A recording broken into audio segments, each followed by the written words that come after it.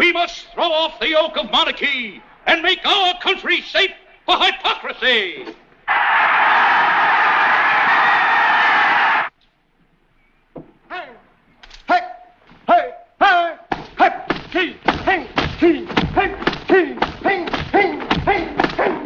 Euch freut ihr in ganz nicht die Verzeihung gehabt haben?